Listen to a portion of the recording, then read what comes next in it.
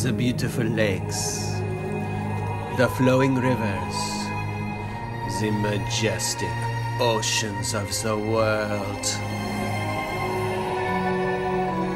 But if you add them all together, it is the pond that is the most beautiful, exotic, and wonderful body of water of all.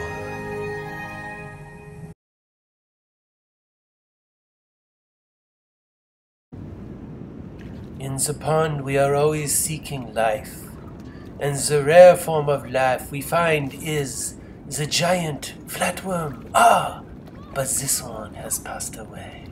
So sad. But later, Maurice finds a rare living specimen as it glides effortlessly through the water, searching for its family. Where have they gone? We do not know. But this is the circle of life that is the pond.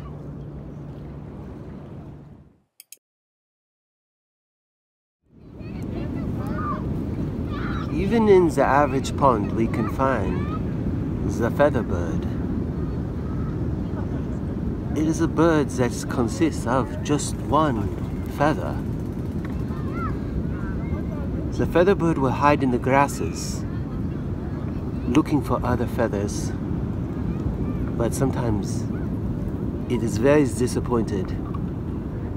Another feather may just be a feather and not a featherbird. What is this? What is this? Is this another mate for the featherbird? Ah, no, it is not.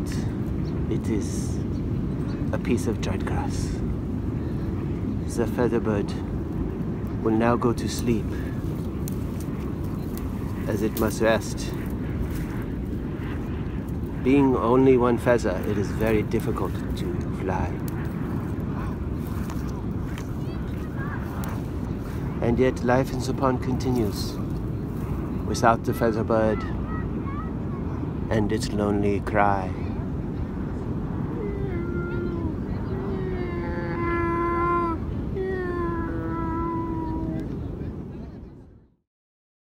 Along the edge of the pond, you will find many sticks. The observant eye will also notice the stickfish. It is like a stick, but it is a fish. Our scientist Carl made many interesting observations about the stickfish. Carl, I noticed that the stickfish is coming towards you. What is uh, this behavior? Well, sometimes the stickfish actually comes near you like an attack, but it's actually harmless. I see. The stickfish actually has no teeth at all, and it feeds off plankton at the bottom of the pond. I feel that the stickfish is following me, Carl. Is this safe? Is it have a poison? No, the stickfish is not venomous, But it is getting awfully close to me. I, I No. don't understand. but no, I do not know. I don't know either why the stickfish is coming so close. As Well, the faster I move, the more the stickfish is following me. This is very unnerving. yes, but the stick.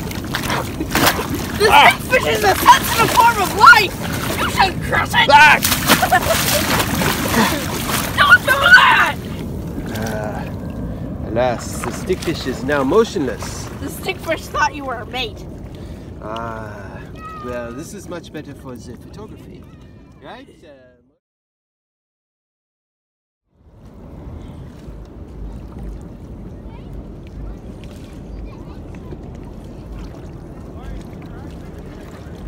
that you, young man, are an amateur botanist, Yes. and you was the first to find the Schnitzelbuschen.